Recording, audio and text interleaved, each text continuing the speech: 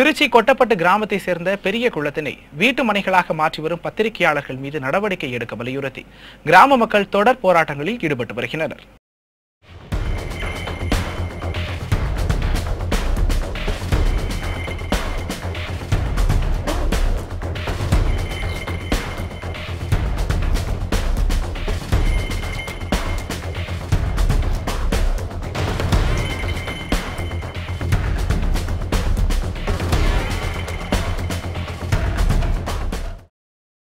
திருச்சி மாவட்டம் கொட்டப்பட்ட பகுதியில் அரசுக்கு சொந்தமான நாற்பத்தி மூன்று ஏக்கர் பரப்பளவில் பெரிய குளம் ஒன்று உள்ளது. இக்குளத்தில் திருச்சியில் உள்ள பத்திரிகையாளர்கள் ஐம்பத்தி நான்கு பேருக்கு கடந்த இரண்டாயிரத்தி எட்டாம் ஆண்டு வீட்டுமனை பட்டா அப்போதைய அரசு வழங்கியது. இந்த வீட்டுமனை பட்டா வழங்கியதில் பல்வேறு முறைகேடுகள் உள்ளது என்றும் சட்டத்திற்கு புறம்பாக குளத்தை வீட்டுமனை பட்டா வழங்கப்பட்டிருப்பதாகவும் மதுரை உயர்நீதிமன்ற கிளையில் வழக்கு தொடரப்பட்டுள்ளது. இந்த வழக்கு தற்போது நிலுவையில் இருக்கும் நிலையில் சம்பந்தப்பட்ட குளத்தினை சில பத்திரிகையாளர்கள் லாரி மூலம் மண்ணை கொட்டி பிளாட்டுகளாக பிரிக்கும் நடவடிக்கையில் ஈடுபட்டு வருகின்றனர்.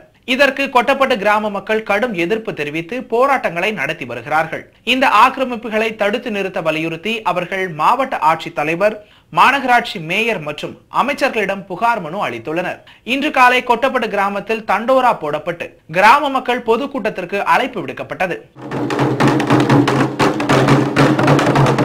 சாயந்தரம் ஏழு மணிக்கு பெரிய குளத்தை பராமரிப்பு பண்ணிட்டு இருக்காங்க அதுக்காண்டி பொதுக்கூட்டம் போட்டிருக்காங்க. எல்லாம் கால்நடைக்கு வந்துருங்க.